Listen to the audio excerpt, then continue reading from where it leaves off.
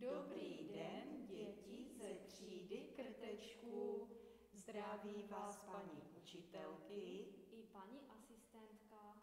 Ahoj.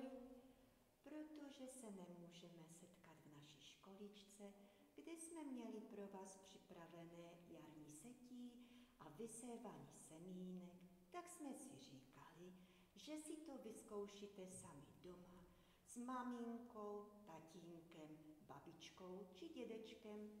A co k tomu budete potřebovat? Nějakou mističku či kelímek, hlínu a samozřejmě nějaké semínko, třeba hrách, fazole, okurky nebo co doma rodiče najdou. Jak na to? Je to úplně jednoduché. Nejprve si vezměte kelímek, do něj nasypte trošku hlíny, do hlíny zasaďte semínko, zalejte vodou a umístěte na teplé a světlé místečko. Aby se semínku lépe klíčilo, můžete mu říct tuhle básničku. Všechno, co roste ze země, chutná a voní příjemně.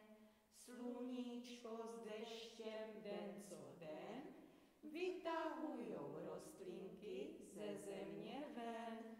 Děkuji ti, sluníčko, že uzrálo zrníčko. Děkuji ti, země milá, že to zrnko v sobě skryla. Už se na vás moc těšíme, až se všichni společně uvidíme. Budeme rádi, když nám své rostlinky ve správný čas přinesete ukázat do školky. Mějte se hezky. Ahoj!